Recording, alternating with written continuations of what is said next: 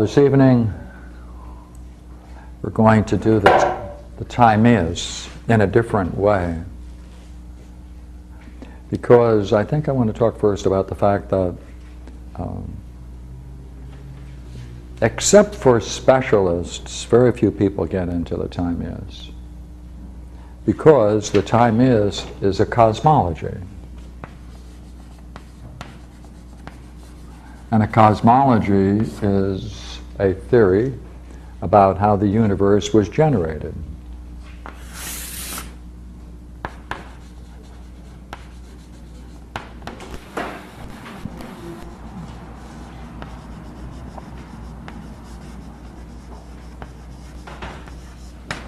Hmm. Well, when you consider that we're talking about 4th century BC or 5th century BC physics, trying to explain how the universe was generated. You can certainly see why moderns would prefer to go into science and modern science to try to explain how the universe was generated, since obviously we have a greater scope of knowledge in terms of physics and chemistry and all the other sciences that can give an account of how the universe was generated. It's one of the major concerns of physicists and theoretical physicists today. So therefore, the idea of Plato's Timaeus is for the most part ignored. Now there's also in the Timaeus some metaphysics. So there's also metaphysics in it. And uh, if you have a universe that's being generated, and the generation is based upon certain metaphysical principles, obviously it's not going to have too much currency in today's world. We don't think that way. Well, behind the cosmology is also a theology. That is to say, there's a God in the Timaeus that, in fact, brings about the cosmology or the universe and equally well the kind of God depicted in the Timaeus. While it has certain interesting aspects, there are many people today that aren't too concerned with theology either. Therefore, for a good number of reasons, it can be ignored or forgotten. So why should we now return to this? Well, let me pr propose a curious thing. Um,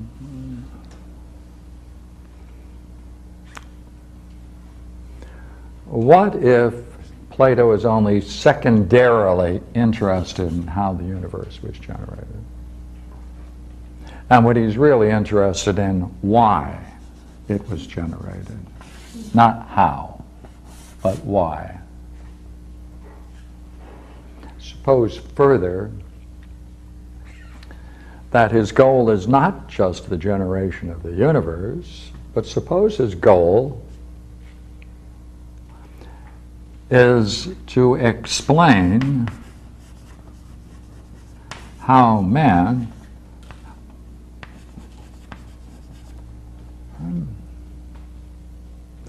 can be in a universe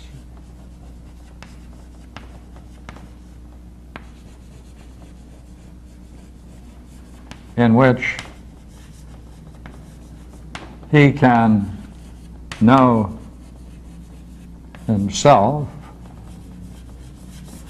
and the universe. And in knowing both, and in knowing both, and isolating the factors that brought that knowing and made that knowing possible, he can then develop a certain set of principles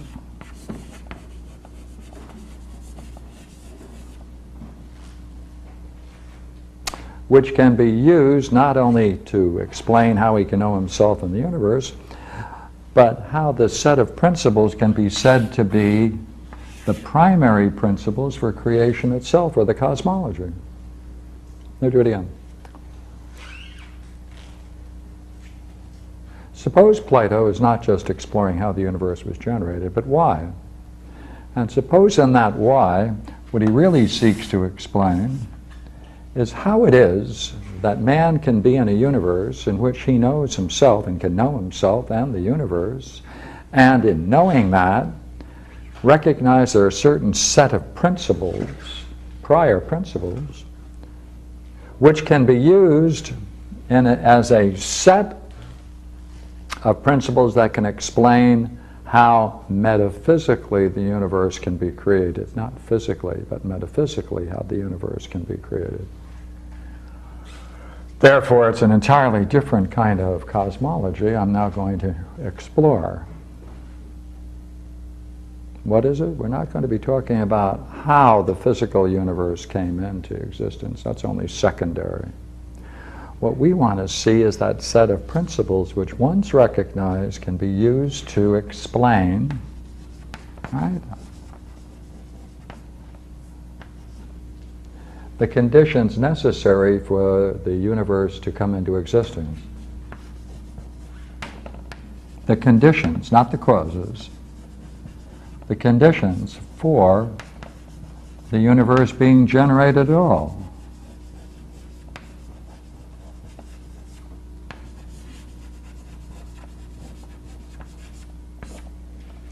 Now, when you try to explain the conditions for something, you're getting behind the causes. Because the cause of a fire, or lighting a match, or the flame igniting, is different than the conditions for that fire being ignited, right? You have to have oxygen, you have to have a supply of fuel, and et cetera, et cetera.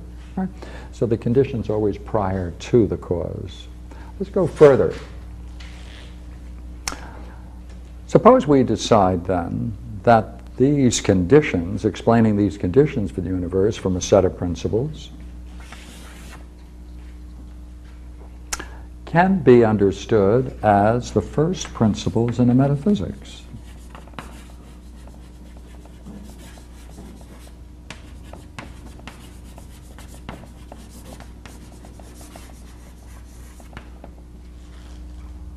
Well, if that's the case, then you're going to have a metaphysics that's going to rest on a set of principles which are going to be the conditions for explaining how the universe was generated. But more importantly, it's going to be the same set of principles going to explain how it is you're in a universe where you can know yourself as well as the universe.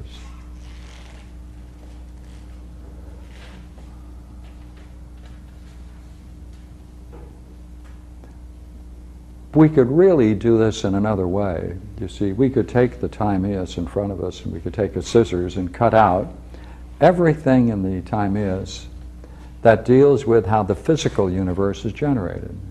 Just cut it out. Then we'd have two piles. We'd have a stack of material dealing with the physical generation of the universe and something else. That something else happens to be those set of principles which are metaphysical, which can account for how man can know himself in the universe. That's what we would have. Now, thank goodness someone has already done this. And therefore, we don't have to start by inventing the metaphysical wheel. Now, Proclus did a commentary on Plato's Timaeus. And let me say something about it first. For many years, it was very difficult to get Proclus because the only person who had been translating his works was Thomas Taylor back in the very early 19th century, 1805 and thereabout. And therefore, when those of us wanted to study Proclus would try to get a copy of Thomas Taylor's commentary and then run down to some photo shop and make copies of it. And therefore, we would have these big tomes, thick and ponderous tomes of Plato's commentaries by Proclus. And I brought there's a two-volume set of it, and this is this is the first. This is why philosophers invariably are strong, build up their bodies because this is volume two of uh, commentaries of Proclus on Plato's Timaeus, and uh, as you can see, only one page is printed, and that line represents the cutting edge of the Xerox machine. Right? So this is the way. We, now it's out now in a uniform edition, and you can now buy it And by heavens, you're way ahead. So, uh, again, if you want to go into this much further, this is really an introduction to Plato's Timaeus, and I'm relying to some degree on Proclus's comments. And uh, I like talking about Proclus because he is a mystery. He's the biggest mystery to me in philosophy. And this is the mystery. He takes Plato's Timaeus, which is a very compact work, and he takes nearly every single sentence and can find in that sentence a whole metaphysics. So he unpacks it and explains it in hundreds and more pages, like that two volume work I have there on the table. Now, what is, why am I saying it's a mystery? Well, it's a mystery because when you begin to see the profundity of what Proclus is doing, with some of Plato's dialogues, especially the Timaeus, he did one on the Republic, by the way, which doesn't exist anymore except in uh, small sections. If you take a look at what he did with Plato's Timaeus, you'll be amazed at how much is behind it. Because Proclus uh, brings into his work all of the thinkers that came between himself, major thinkers that came between himself and Plato, nearly all of whom we don't have any text for anymore. So therefore he brings a living tradition of a thousand years along with him in this ride, showing the commentary on Plato's Timaeus. And it's the mystery, therefore, is quite simple. If it is true that Proclus's commentary really reveals the thought of Plato, then the thought of Plato must be so terribly profound to have contained so much so compactly that it really defies the imagination to consider that anyone could be so profound and so magnificent in the way he treats a subject as to require scholars for the next thousand years to unpack it all. Therefore, if you have a chance, uh, get a copy. So, let me now work backwards then, and then we'll work forwards.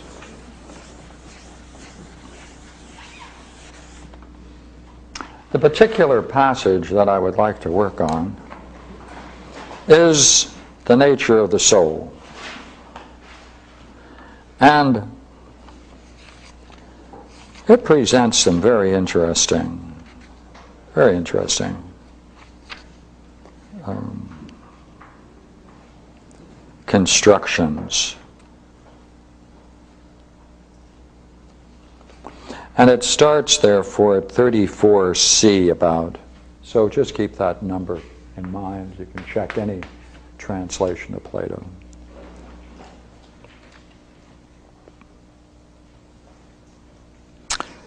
And he really begins his comment. He puts a paragraph, he talks about it in a variety of ways. But he jumps in at 35a, and I'm going to just read you the quote. Midway between being, which is indivisible and remains always the same, and the being which is transient and divisible in bodies, he blended a third form of being compounded out of the two. That is to say, of the same and other. Right. So, what we're looking now at is an explanation of what's the soul? Well, looks like then it's a mean. It's a, it's a mixture of two things. It's a mixture of a being, two kinds of being, this is impartible. You cannot break it into parts. And this is partible. This is always the same. And this is always different or other, same word, different other. And by bringing these together, and he stirs them together with being, to create a mean between these two. Now, it's nice that we know that, except for one thing. And that is, what does he mean by this word? Now, this is a good word we've been playing around for quite a while. And let's see if we can go into Plato and bring it out. Okay, now we're going to talk now about uh, the, the most interesting metaphysics of Plato. Now, when I talk about metaphysics, I want to put over here a challenge. Is it possible that, is it possible that his metaphysics also represents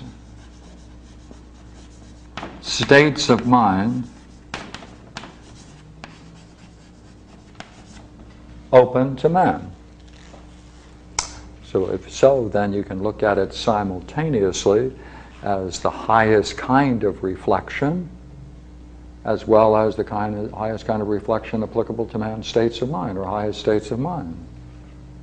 Or the higher we go, let's even say the higher we go into this metaphysics, the purer the concept, the higher the states of mind we go into, the more we're talking about spiritual states of mind or yogic states of mind or transpersonal psychological states of mind. So therefore, that's our challenge. So let's go back into it. The highest term in the Platonic universe is the One, also called the Good. And they are said to be identical. And I think we once went through a beautiful proof of the fact that it can be said to be the same. And that, of course, is Proclus's great 13th proposition in his Elements of Theology. So let's leave that for a moment. Now, okay, what can you say about the one or the good? Well, according to metaphysics, you can't say anything about it because all remember all the statements you make about it are in fact um, in fact don't approach the uh, majesty of the concept. It always delimits it in some way. The only concept he has in the Parmenides, where he talks about the one in the first hypothesis, is that it is unlimited.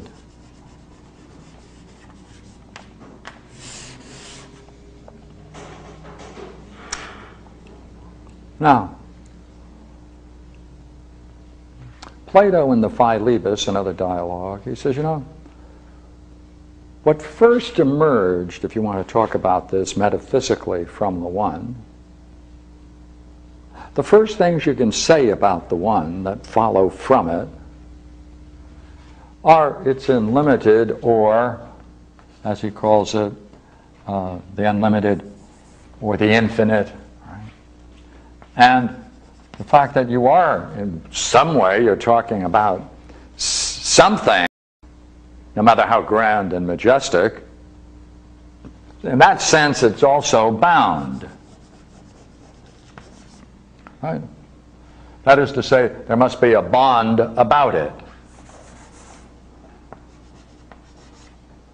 So therefore, this is the highest concept. This is the second derived from it. Unlimited and bound. Now, anything that's unlimited and bound, to say anything at all about it, if you say that it is, then of course you're, you're bringing in the notion of being.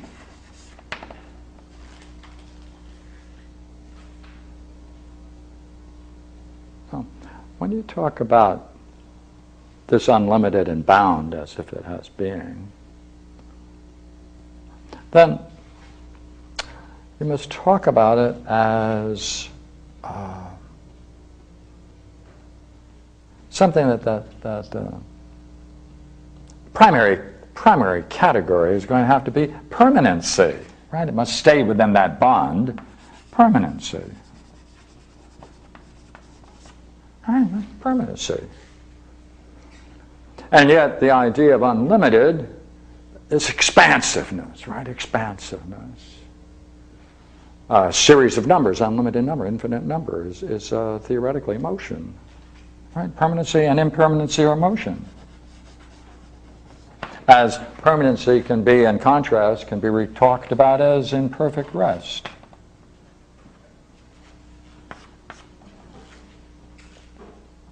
But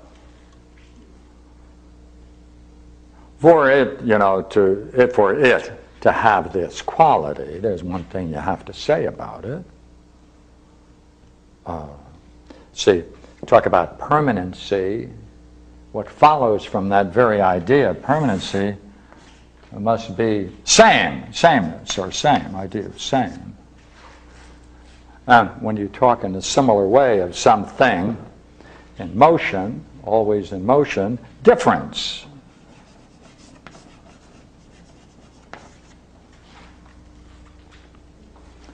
So these are the five, this is the highest concept.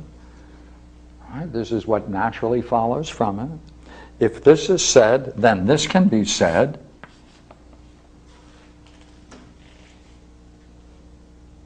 And therefore, these are called the five genera, right? The first five things that you can be that can be said in any way to be once you assert that there is something unlimited and bound.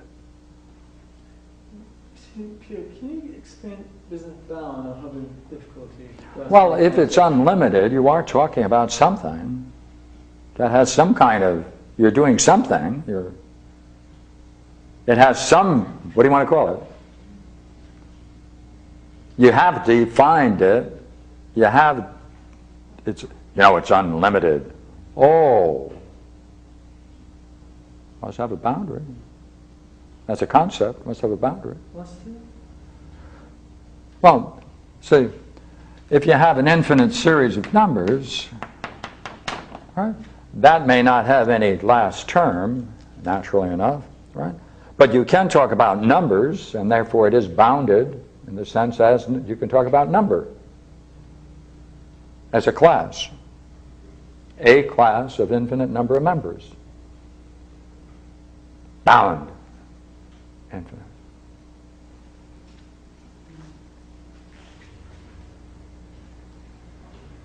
Good, good, good. So next. I have a question too. All right. Are you saying that the, the, the one, uh, is at the same time unlimited, unlimited and, and bound? The first things you can say about it, first things you can say about it, when you recognize it, it is inadequate, right, are these two terms. Therefore, in thinking and trying to understand the universe, right, if there is a highest, if there is a highest, these two terms would follow. If these two terms can be said to follow, these follow quickly after. I think this gentleman, and in our, in my mind, I, I wonder, uh, if bound can follow. Well, bond mean bound or boundary. How about boundary? Is this not saying something? Uh-oh. Not something else? Then you put some kind of fence around it. Well, let me tell you where maybe my, and it's a question of words, my problem arises that this is exactly what the universe is according to Einstein's theory of general- relativity. It's unlimited and bound. Yet bounded. So yes, yes, quite is, true. Is that what you mean, like the surface of, you know, the reality is in a four-dimensional surface, but the Yeah, surface yeah. of a sphere is unlimited and bound? Is that the kind of... You may put it into that context, but I'm not. I know, that's why I'm having, do you see why my mind is kind Yes, of yes, yes. freaking out? Yeah, that is Einstein, yeah, unlimited yet bounded. Okay. Right, because uh, um, light is curved, and therefore there must be an enclosed universe within which all space must return. I mean, all light must return since it bends, yeah. yeah. Question, are you saying infinitely extended or infinitely extendable? Well, whatever it is, it is unlimited. Now, we haven't decided whether it's power, energy, space, or time. Just that it's, as it is, it's unlimited. That's the first thing can be said about it. So in other words, if I had an infinite lifetime and I started walking around the earth, Okay, let me. my sh- path would be infinitely extended and finitely bound. Okay, let me take you through the reasoning, all right? Um, If we want to assert that there is something called the One, all right? Would you agree, from the way we reasoned before, that what we mean by it is it cannot in any way entail a manyness?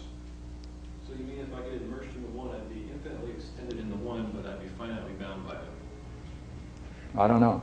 Would you agree that, no, no, no. See, you put three things in there. I would be finitely bound by it.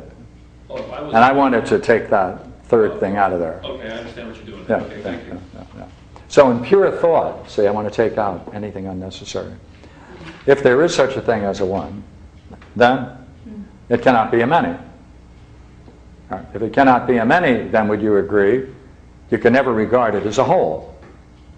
For any whole must have a sum of parts. Agree? All right, would you go further and say, therefore, you can never regard the one as a part? Because a part presupposes a manyness. That is, it is part of a sum of things called a whole.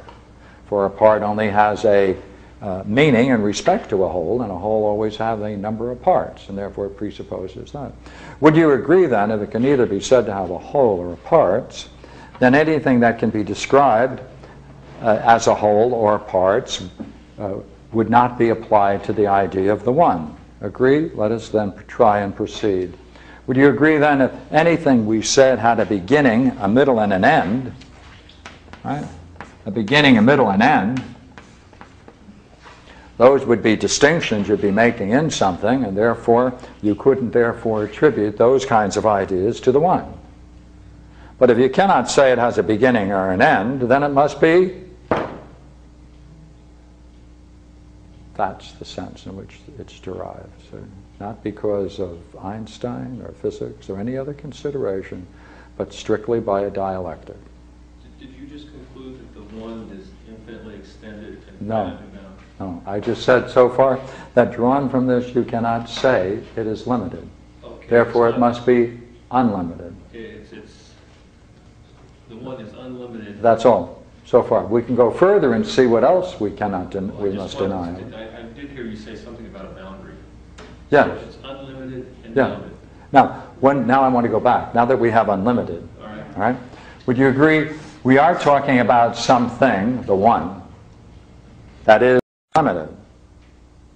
Well, to that degree, it's not anything else. And in that respect, I have isolated it from everything else. Right. Bounded, Wait a minute.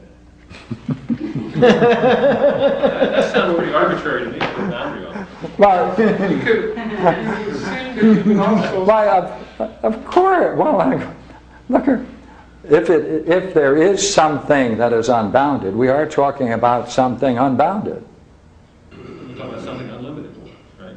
unlimited. Yeah. Well, that's that's a boundary around that idea. Mm-hmm.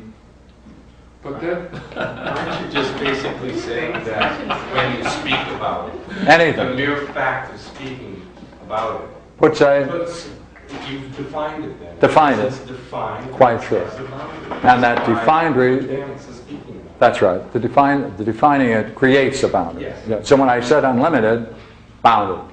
That's quite true. Hmm. So unlimited is a bounded concept. Yes. Okay, all right, now. uh, Did you see how we generated from that this? Now let's go further. There's something very curious about this idea of being. All right? And that is, um, we can speak about it, we can speak about this idea of being as therefore being unlimited, permanent, Right? But look here. You see, uh, if it has some motion, in the way in which we described it a moment ago, a moment ago logical motion, right? Um, we can then say, is it possible, is it possible for this thing um, with motion, it either moves somewhere else, it either moves to a place in which it is not, or it stays where it is and rotates upon itself at some point. For those are the kinds of motions there are. Well, we can't say that it can move to some other place because that would presuppose there are other places in which it can move, and that would be a manyness. We can't say then that it can move in some other place, or even if it stays upon a point, there has to be a point upon which it rotates, and there have to be a point upon which it rotates. That's another thing, and that's a manyness. Is it possible then that there's this kind of motion? That is to say, it can know itself.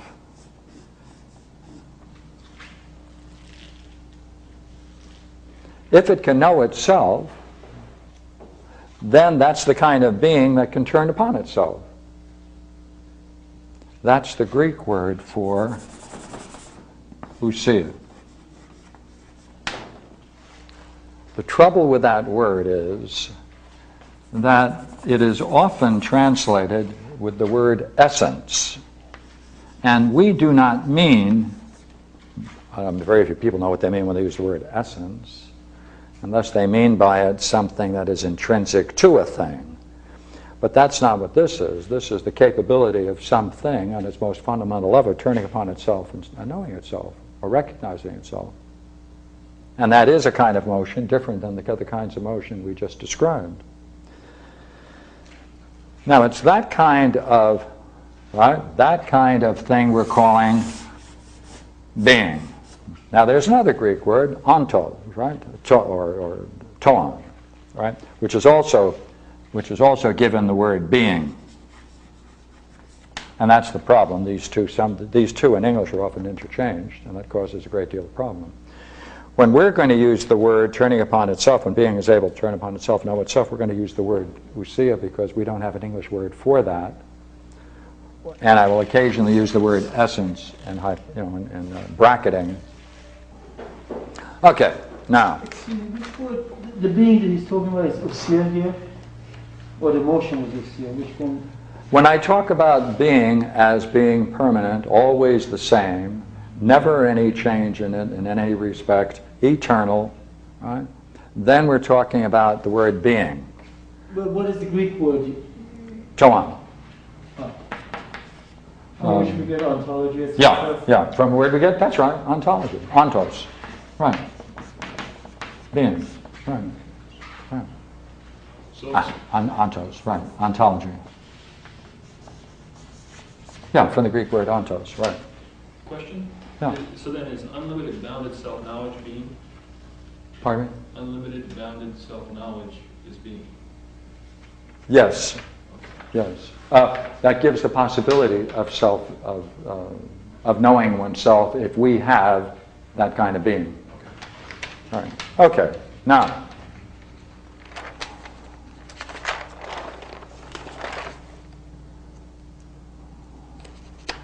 I just wanted to go back to that one line I had and work backwards tonight. Um,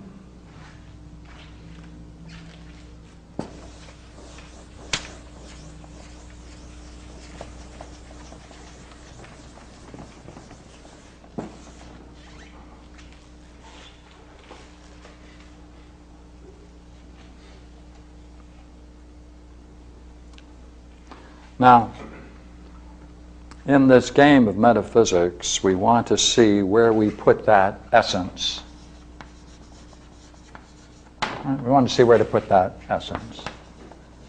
Now, I'm going to use this word essence simply because the text often does. right? Now, what he is saying is that this being or essence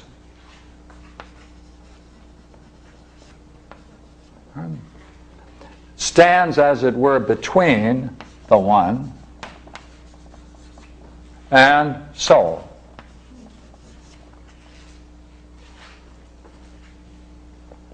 Now, that's called a middle position. Right? That's a middle position. And as such, this triad, therefore, is impartible. Because as the one, as the ousia relates to the one, in the highest sense, you can't say you can break it up into parts.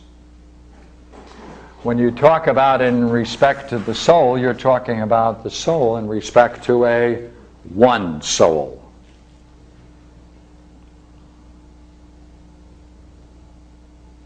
Now, anything that exists, anything that exists in our everyday world, when we talk about existence, we're talking about this lower one, because everything that's said to have existence has some kind of essence, and that's between, therefore, if it's living, right? every living thing is said to therefore have some kind of soul, some kind of essence, and it must be related to some kind of body or bodies. And if that's the case, this, this uh, if it therefore is in this middle position between these two, which we'll explain in a minute, then we can talk about it being partible or capable of being in parts. Now, if it is over here, then ousia is ousia is an image of the one.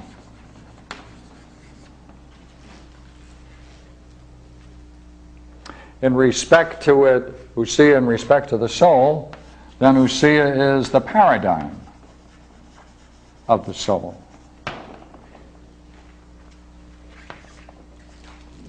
Now, I want to now jump into, uh,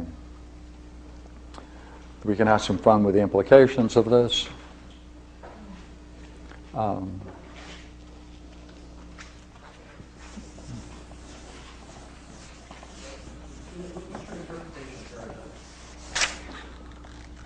Um, a paradigm is that from which everything can be said to be derived, like in a declension. All the ways in which something can be said to be developed, executed. It's a paradigm.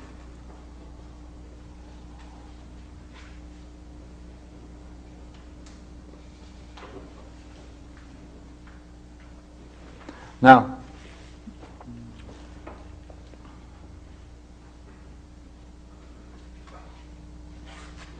We already had a shot at this, but I'd like to go back to it just for a moment.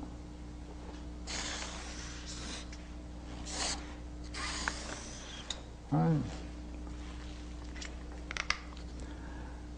Essence is something that has come into existence, come to get, come into being. Right? It's come into. I use the word existence not in terms of physical things, because its parents, as it were, were the bound and infinity.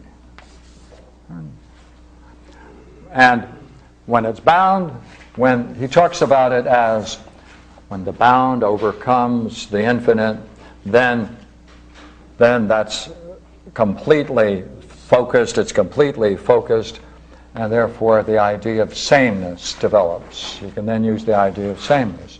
When infinity he calls it uh, vanquishes. He calls it vanquishes uh, or overcomes, or in some parts of the universe exhibits its power to such a degree. Then you can say then that uh, uh difference emerges because when the infinite then is no longer contained by anything, there's nothing but a vast difference. Therefore, the idea of difference and sameness emerges when the infinite, therefore, gains access over the bound. Now, notice what we're doing. We're trying to talk about how certain ideas can come into existence metaphysically. That's all we're doing. Right? And um, we're going to use that. Now, we now can talk about, as we did a moment ago, we can talk about being, as ousia. That's predominant permanency. Right? We can talk about it as capable of this action, and a being which then is capable of being in parts, partible, remember? Now, when these two, when these two come together and mix, and they normally can't be mixed because the partible and the impartible can't be mixed, it is mixed with ousia. It's forced. The result of this mixture, that's given the word soul. That's what soul is. That's all it is. It is a new word. All we're doing is saying, since we said there is this, and said we saw that there could be this, when the two combine, mixed up, that's soul. That's all we mean by soul. Therefore, there's a part of soul which is permanent, which is capable of knowing itself, which can't be broken into parts, and a part of soul which, in fact, is in time. This can be in time. This permanency means eternity or eternal, right? It's in eternity. And therefore, in the soul, there's something in it that is eternal, and there's something, therefore, that is subject to change.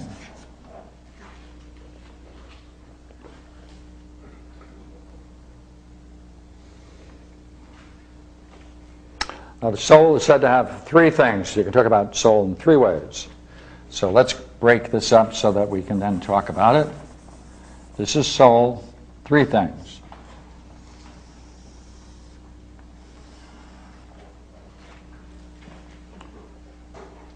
And let me bring you to it. Right. It has an ousia, it has an ousia, a capability of turning around itself. It has a certain power, and it has a certain energy. Because it derived those, would you not agree, from that vast power, the infinite power that was there?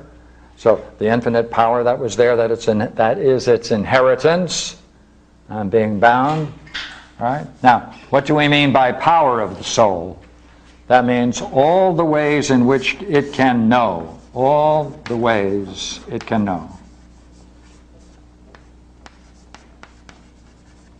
That's your power. All the ways in which it can know. Energy is all the ways it can move in motion, right? ordered motion, ordered towards anything anything that can admit of stages. It can go through them in stages because it has that capability. Therefore, soul has, let's take out the other words we had in here before, get rid of the eternal and change. It therefore has what we call the essence of soul is generated in three. That's called its triple essence.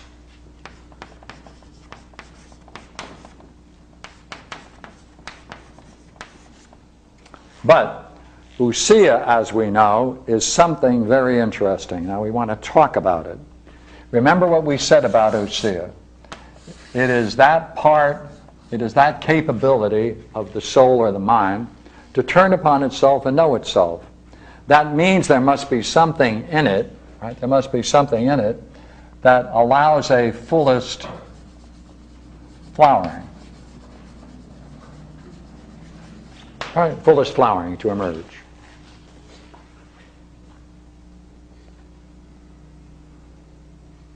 It means, therefore, that in that, in this motion, as it were, in this turning about, it must move with such perfect harmony. What do we mean by harmony?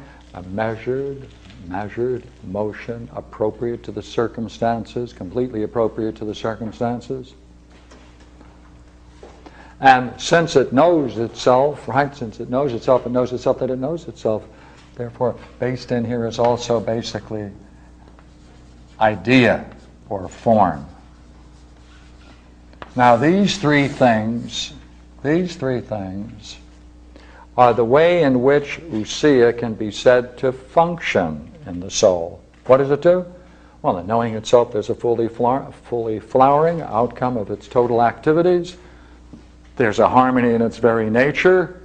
And in that knowing, in that fullest knowing, it then has the I must grasp the form, right, what it is in itself and express it in some idea. That's the soul in respect to the ousia. Therefore, there are three parts of the ousia. These are not parts as partible parts. This is the way in which it functions when it knows itself.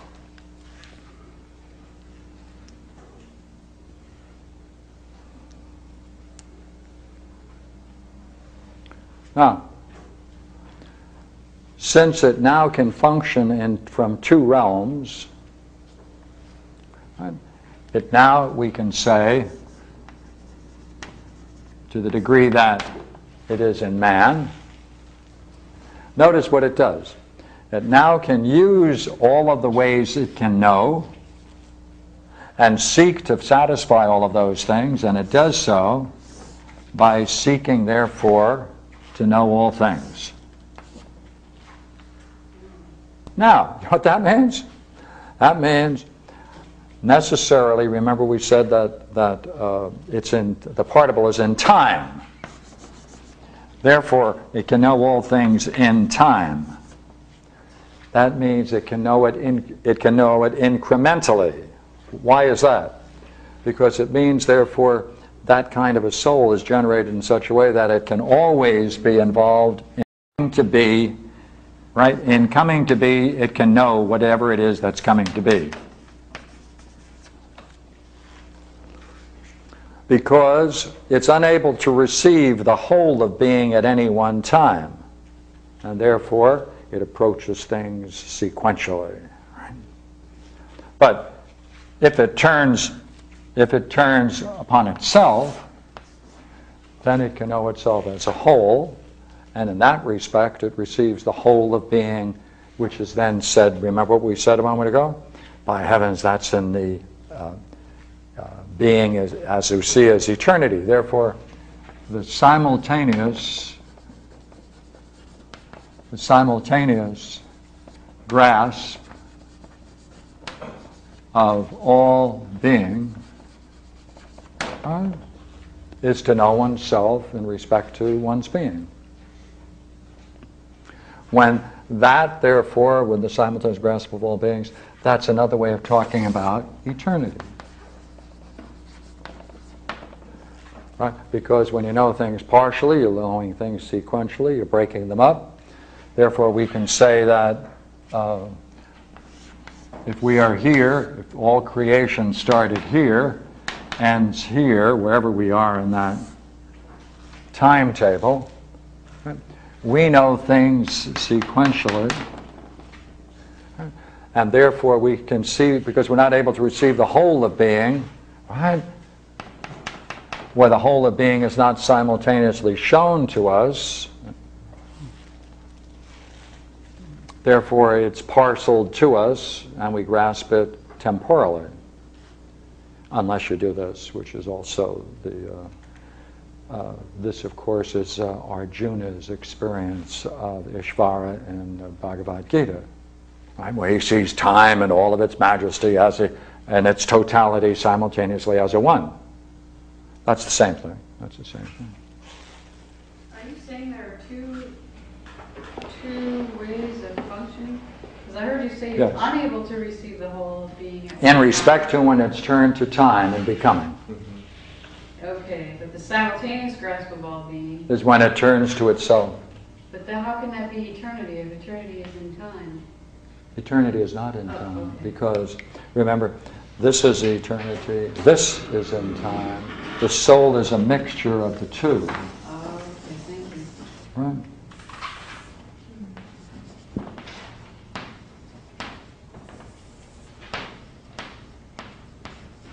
Right? Mixture of the two. So then it could have a temporal experience of eternity. Well, that's what time is. Time is a moving image of eternity. Yeah. Yeah, right, right, right, right. right. And it receives its power of existing from its uh, being as a seer. Now, let's see if we can go a step further. right? Uh, this is. I'll come later. Good. Here we go.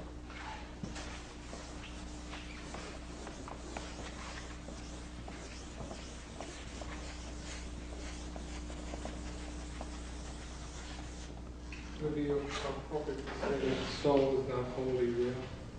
The soul is not whole. Wholly real, it's not completely real.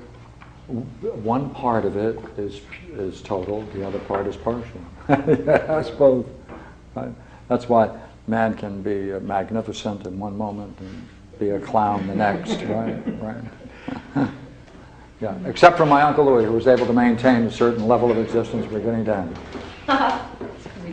Please. We we normally reverentially bow when we think of Uncle Louis. All right, look at one soul, therefore, right, of the two parts. Right, then Plato says, this then must be broken up, parceled out, must be parceled out, be broken up into pieces, and these pieces, therefore, are going to be extended throughout the universe. So he takes one part, and the ratios of them are 1, 2, 4, 8, uh, 3, uh, 6, 3, 9, 27. And um,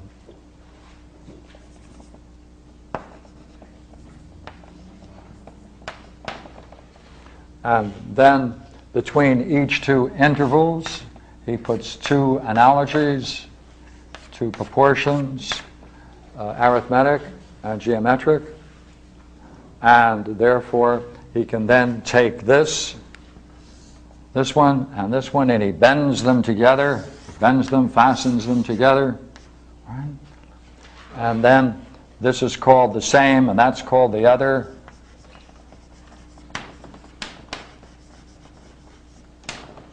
And- And then along the one, it's at a certain angle, which therefore, all of these listings therefore allow us to put the position of the planets, and he allows that. These are also the musical intervals of the Greek, Greek diatonic scale, as you know. And I just want to mention that in passing because I want to move on to something more interesting, right? So that means then, that means then that built into the soul is number, ratios, measure, analogy, proportion,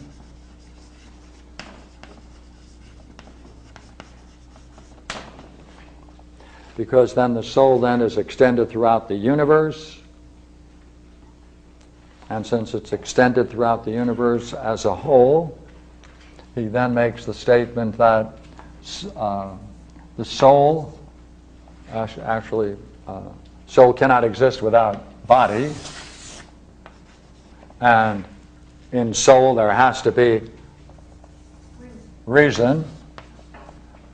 And therefore, in the creation of this universe, he's going to have something then that extends throughout the entire universe, spread out through everything. It has reason within it, soul encompasses it, and take, can take on a bodily form wherever it's required. Right? Those are, yeah. Um, I was reading that the other day, and he says he constructed reason within soul and soul within body, and that's the word nous. And that's the word what? It's nous in the Greek. Yeah, yeah, So yeah. I'm used to that translated as intellect. Reason threw me off. I thought reason was dianoia. Well, uh, dianoia is usually translated as understanding. Through nous, through to- through to understanding. Uh, but you're quite right. Um, this is not ration. This is not in the sense of rationality. It's in the highest sense of reason. In that respect, it takes on the word intellect, really. But uh, so remember, there are two parts, two parts of the soul. There's the higher and the other. Therefore, one part there's nous, and the other part there's opinion. But we'll, we'll, move into that in a moment. All right? Okay. Then, based therefore in the universe, right, necessarily therefore, the soul must in, inherently have the capability, since it's, it's uh, generated this way, for number, ratio, measure, analogy, and proportion.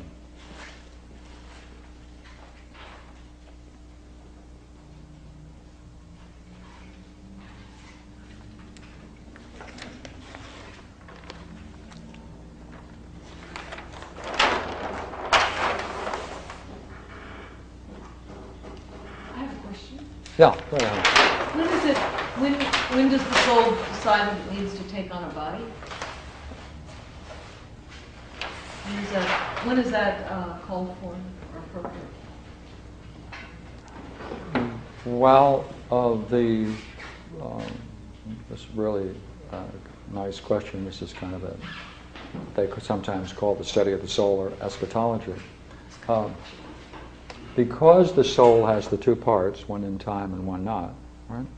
Therefore, and it views, it views uh, becoming, be- views becoming, because it's made up of the two parts. What are the two parts again?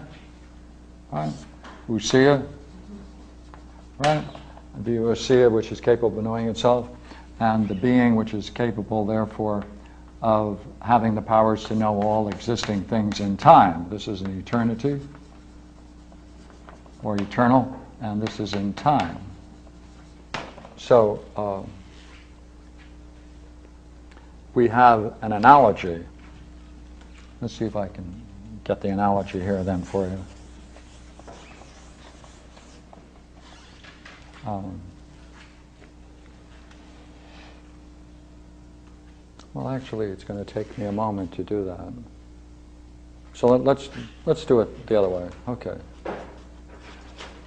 Um, your question is, why is there a need for the for a body to exist given the existence of soul? Right. So not so. You think I dropped your, your question. I don't. Okay. Yeah. Okay. Okay. Now we're to do that. Let's go into theology. In theology, Plato starts with this statement. It's an analogy. Being, what we've been talking about, is to becoming as truth is to believe. Now, being relates to truth, and therefore it can be known by logos or intellect, and phronesis, which is uh, highest kind of knowing. As becoming can be known by opinion and all of our perceptions. Therefore, you can make statements about it that you can call beliefs. Therefore, becoming is to belief as being is to truth. Now, being, therefore, he's going to add, he's going to say it's self identical, uniform, uh, non changing, right? Eternally what it is, right? now, I want to take these two together being hyphen truth, right? becoming opinion or belief, right? known through logos or reason and uh, wisdom, known by opinion and sensation or perception.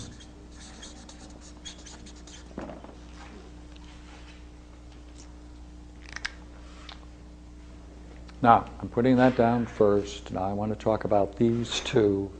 I want to talk about these two. I want to talk about the realm of being and the realm of becoming.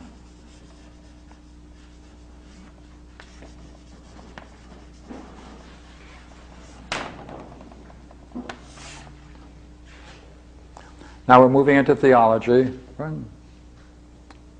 When God saw, when God saw that everything was in disorder.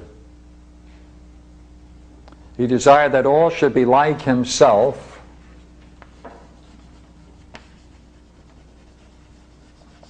And so, what he did then, but he took over the visible, which was in flux and disorder, and he produced, therefore, order out of disorder.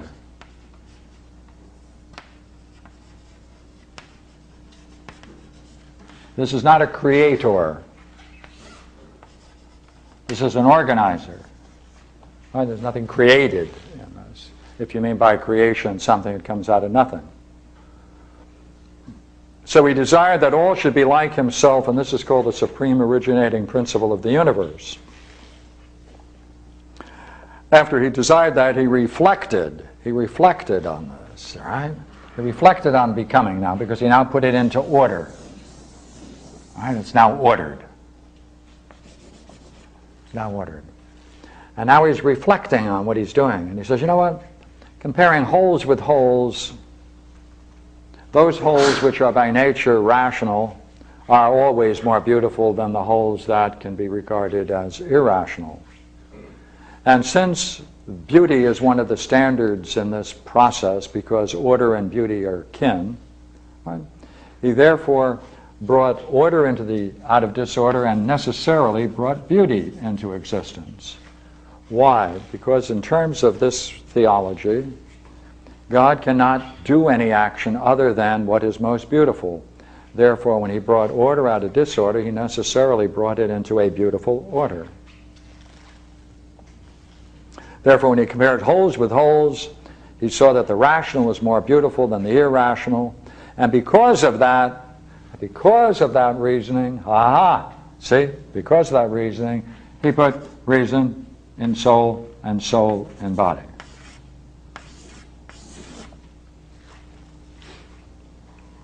Now, that means, therefore, the model for this universe, the model, he desired that all things should be like himself. Therefore, becoming must be like being. Then this must be the pattern. This must be the copy. This must be in eternity, as it were, remember, simultaneous whole. This must be in time.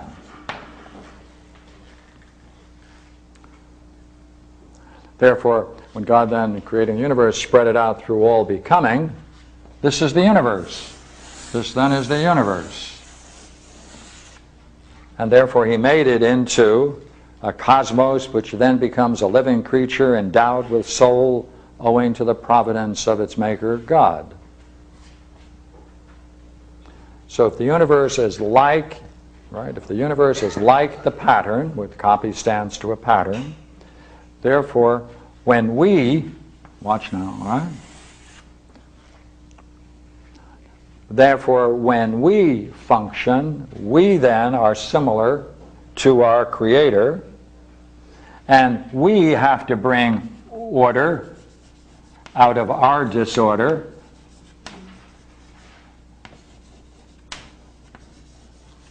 And it must be done fairly, beautifully, right? Must have a beauty to it, right? No coercion, right? And in doing that, we are, we are nothing other than doing within ourselves and our universe what God did to the universe as a whole.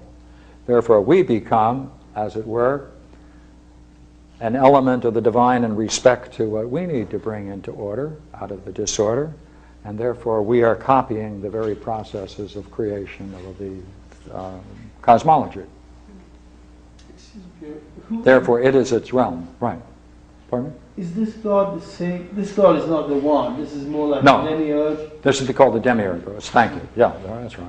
Right. Yeah. Demiurgos, it's a God that works. Ergos, right? It's a demigod.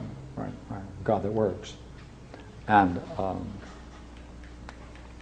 so that uh, we can then see, therefore, that this model or this pattern is being, and it stands to truth, and everything we say about this we can say is true. And everything we say about this universe that was our creation, the best we can say about it is in the realm of opinion, necessarily, because it's in time. You never see the whole, it's always a partible. And the primary vehicles for understanding it are uh, opinion and sensation or perception. So, this pattern now. This pattern, therefore, must be, must be not dead, but alive. It must have a vitality.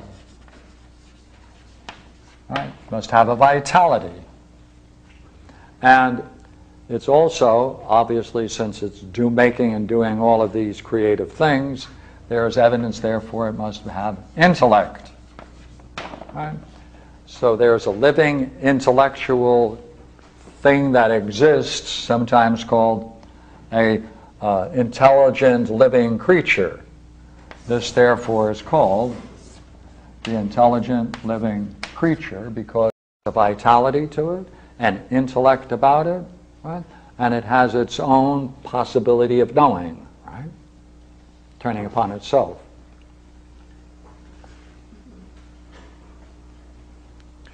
Therefore, this then is a copy of it,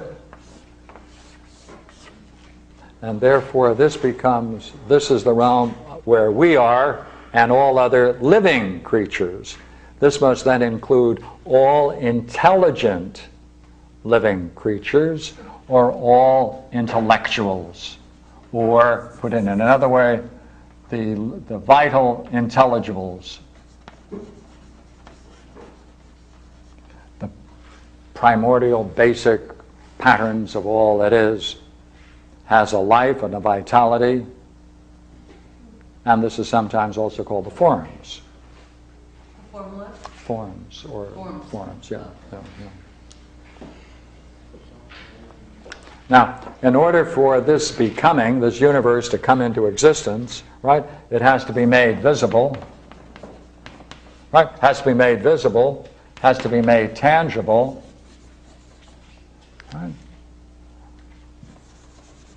And he said, well, the principle of visibility is uh, light or fire, and the principle of anything tangible is earth. So, therefore, necessarily, uh, to, for that universe to come into existence the way in which it has come into existence, to be visible and tangible, necessarily the, prim- prim- the primal elements must be fire and earth. And two things, of course, cannot be joined without a third, because you need something to bind them together. And whenever you have two things bound with a third, that's a mean analogy. And when you have um, a three dimensional space, you need four terms, not three, and therefore between these he introduces two others water and air. Now, they are principles, they're not fire and earth and water and air, right? But it is whatever it is that makes things visible, whatever it is that makes things tangible, whatever it is that makes things fluid and moving in a flow, right? Whatever it is that can bring things into a vitality, air. Therefore, these are the primary so-called elements understood in their sense rather than our own. They stand to one another in analogies. And he has two sets of them. Right? So air is to water as fire is to air, water is to earth as air is to water. What does that mean? It means that all of the basic primal elements, or basic fundamental principles, are brought together into an analogy, which means they're harmonized. And if they're harmonized, they're harmonized not only because they're put in analogy, but they're created in such a way they can fit into an an analogy, therefore, by necessity, they are harmonized. And that, therefore, allows us to say these things brought the current universe into existence.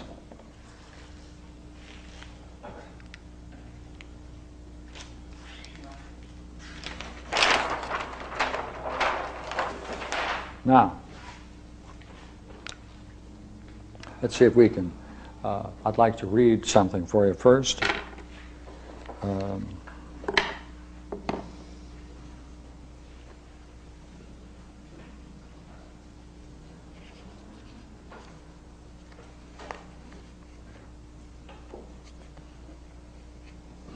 I talked about this in two series of uh, analogies, a uh, three-term and a four-term analogy. And the most beautiful of bonds is that which most perfectly unites into one both itself and the things which it binds together.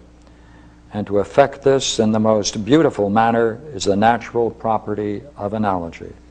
Therefore, analogy is a fundamental bond.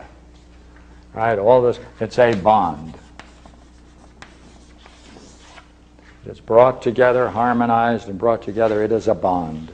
It's a fundamental bond that keeps everything in analogical relationships, and therefore, in analogical relationships, therefore, keeps them in such a way that can be said to be harmonized with one another in the most beautiful possible way, and therefore, the infinity, which is the behind all of the infinitude of forms and the uh, infinite power of the universe, can be then said to have its counterpart, the bound, the bond shows itself in analogical constructions. The major terms for the analogical constructions come out of what appears to be necessary given a metaphysical universe in which man can then be brought to know. Let's see if we can see that now. Matter of fact, let me read it for you, okay? Out of my big book.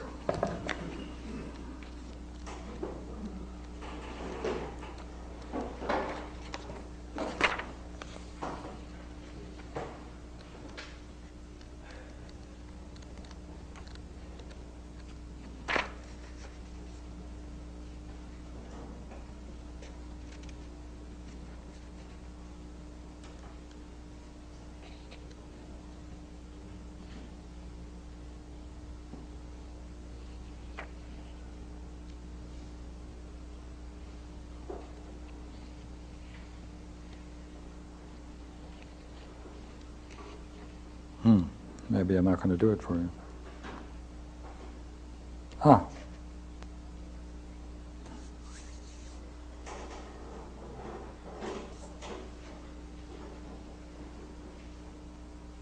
Now, when he uses the word science in this translation, um, they didn't know what sciences were in our sense of the word. It was anything, therefore, that was intellectual, that had a sound principle for the way in which its parts were ordered and it had an ordering function, right?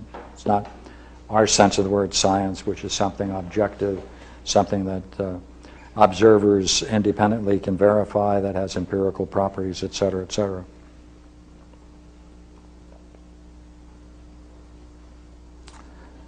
Since the sciences which are in us, see all the ways of knowing, all the ways of knowing are called collectively the sciences in Plato.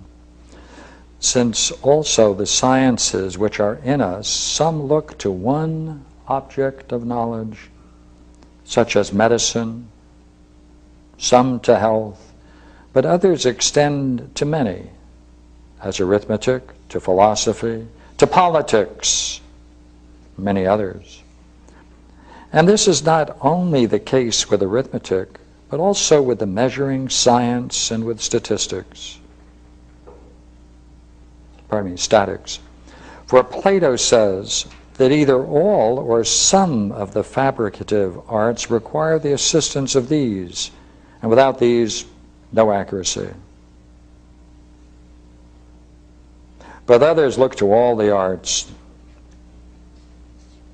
and to the contemplative sciences as is the case with divining art, says Plato. Well, I like that, but that isn't the quote I wanted. Yeah, I, I do that sometimes, unfortunately. Yeah. Um,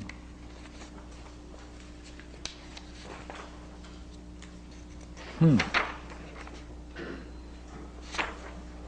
Gee, it's not that far.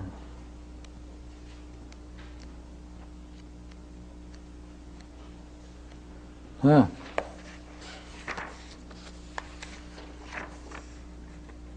Ah. For it appears to me, on this account, that Plato constitutes the soul from the first genera and from numbers, ratios, harmonic ratios, and likewise that he places in it the principles of figures, divine motions, in order that by causally comprehending the reasons of all disciplines and of dialectic, it might thus know all things, the essences, the numbers, the harmonies, the figures, and the motions of wholes consist. It seems likewise that he constitutes the soul as being allied to intelligibles from the genera of being, which primarily subsist in them, but that he gives figures to soul as being allied to sensibles. For things which are truly figured are sensibles, and that as being a medium between intelligibles and sensibles, he binds it with harmonic ratios. Though in intelligible forms also, for they are the form of harmony and the form of figure. So, within us, therefore, right now this is taking off now.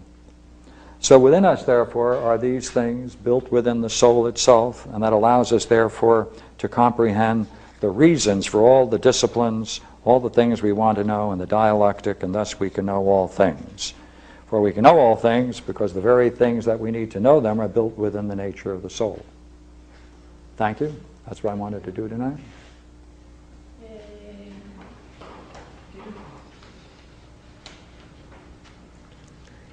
Uh, Question. uh, um, We were, we were back there and we had the, um, the one contemplating itself, the ousia. And then somehow or other in the end, we were down to this, how do we get stepped down to the demiurgus? uh, um, This intelligible, vital, uh, gradation, uh, wondering things. I I didn't see the, where the step down occurred. Yeah.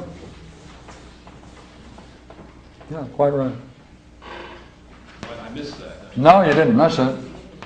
I mean, you might have missed it in another sense, but since I didn't state it, you missed it in another sense. Okay. One is considered one is considered the highest concept of a god.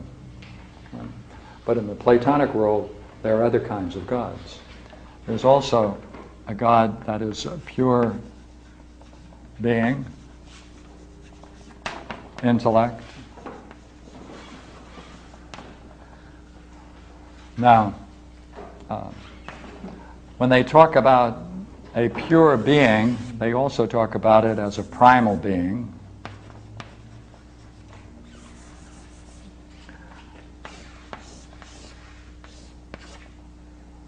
Um,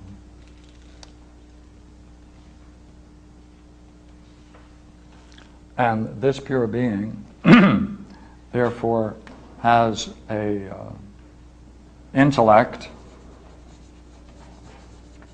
right, and a vast vitality.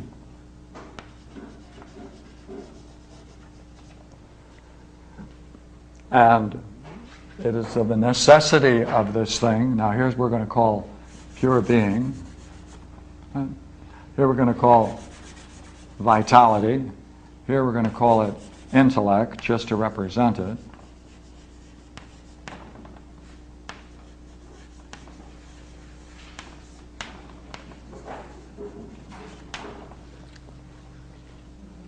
Now, in this in this interesting game, um, how does how does the first creation take place?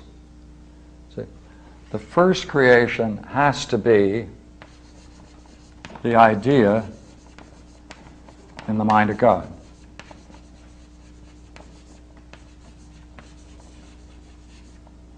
The Creator.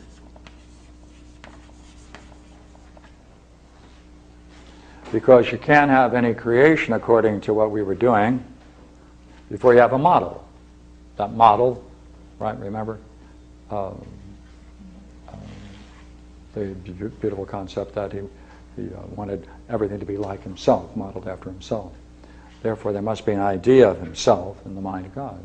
Right? Now, when the, this is, uh, uh, Plato doesn't express this fully. Plotinus does in, in a very beautiful way. He puts the whole thing in terms of process. Plato puts it in terms of structure.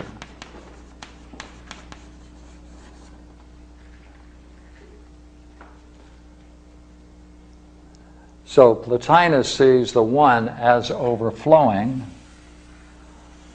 out of its fullness. There's a nat- natural overflowing of itself, returning to itself. At the moment, right, at this returning to itself, with intellect, therefore, it must in some way recognize itself.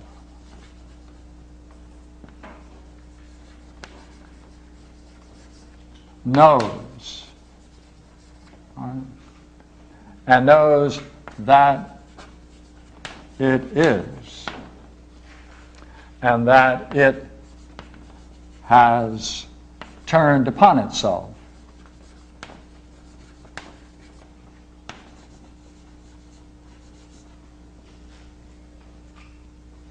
Well, that means, therefore,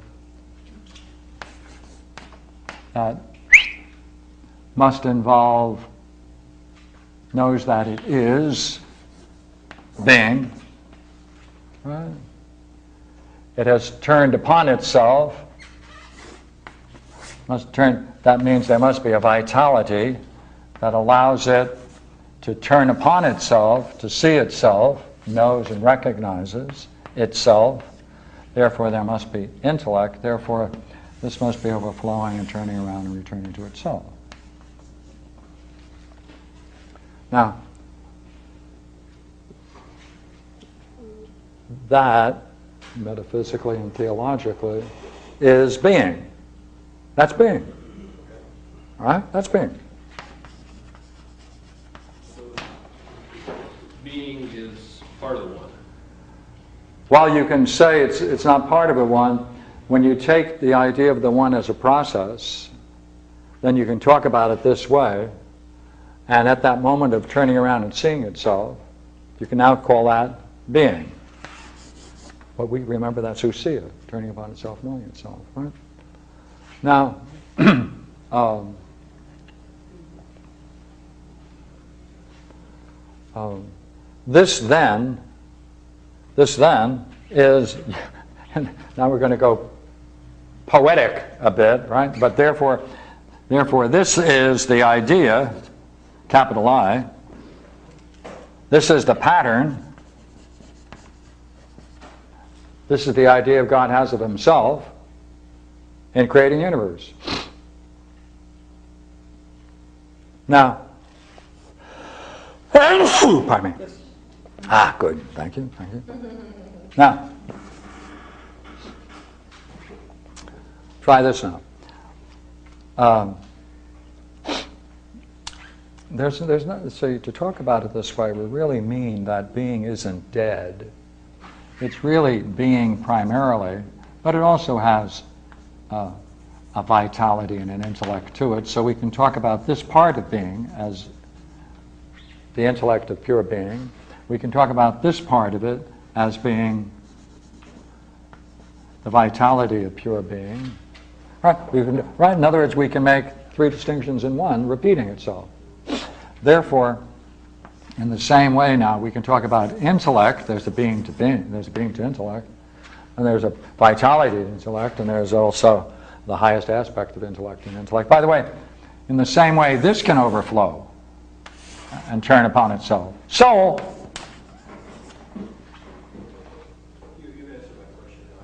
See? Then you take the same drama with the same elements, another generation, created things. So, so they're fractal universe now. Yeah, yeah, yeah, yeah, yeah, yeah, frankly, yeah, yeah, yeah.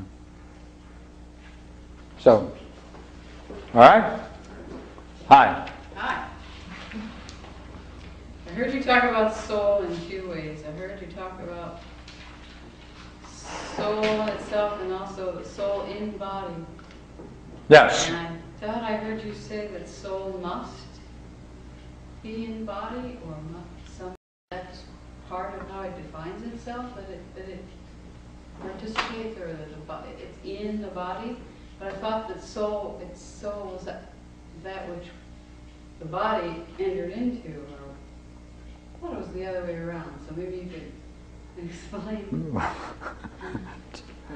Is it both, depending on what model you're looking at? or- Uh, Well, um, the body drops away from the, the soul, the soul's still there in its entirety, it doesn't change, it's totally permanent.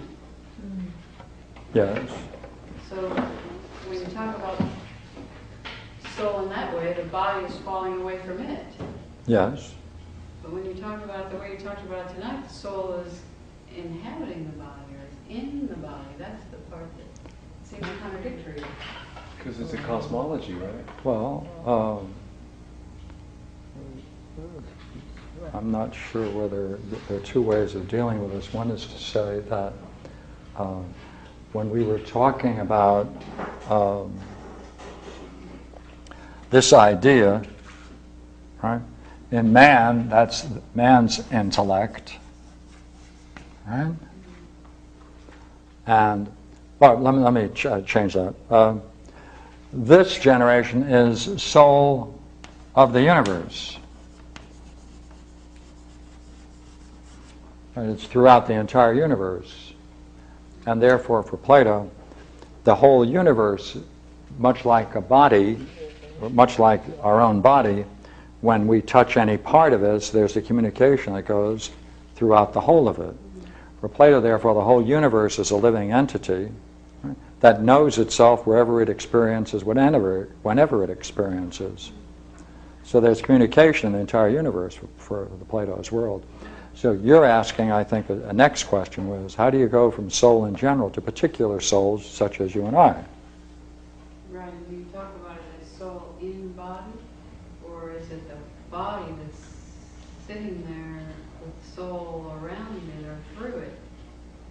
Well, in the same way that wherever you touch yourself, there has to be, for that same analogy to fit, therefore, wherever you touch, you immediately feel, therefore, throughout the whole must be that sense of a soul. And therefore, one of the Platonic yogas is the separation of the soul from the body, is by drawing it together from all parts of the body into a unity outside of the body. And therefore, the body therefore can uh, be shallow in that sense, and the soul takes a trip. You also, Yeah, yeah, Just, Um, You mentioned uh, Plo- Plotinus. Yes. Unpack Plato. I was wondering, um, is it that Plotinus is, has such a rich, um, I don't know. you know, it's like, who's more packed, Plato or Plotinus? Well, you see, what's nice about Plato, and I think it's absolutely unique in history, is that um, Socrates had a Plato, Plotinus had Porphyry, Jesus had Paul. See, and um, it's because of Porphyry, who was the the court stenographer, as it were, for Plotinus, that it's a condensation of dialogues. So it is a very, very heavily uh, condensed work. Uh, but I think I was using that idea with Proclus more than I was with, with Plotinus.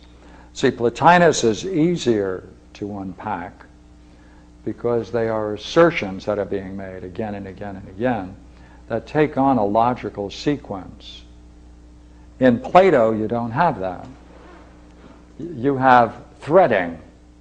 You have to pick up an idea here and here and there and bring them together into unities. To understand Plato is to exercise understanding. To know Plato is to become Platonic. That's why people have Aristotle. You don't have to do that.